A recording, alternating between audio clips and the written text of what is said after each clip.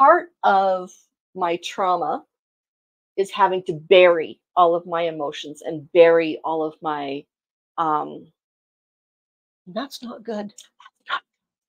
That's not good. no it's not um so my body reacts like i end up having to sleep and i have to really think oh my goodness why am i stressed but Yeah. that's also what my ungeneralized anxiety disorder does to me um and it's ungeneralized because according to my psychiatrist i'm not a worrier. Well according to me i'm not a worrier.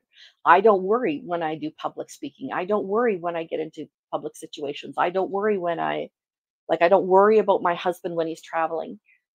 I just am a generally anxious person. Mhm. so it's not even generalized anxiety because it's not general worry. It's just generally it's undifferentiated because it's all of the types of anxiety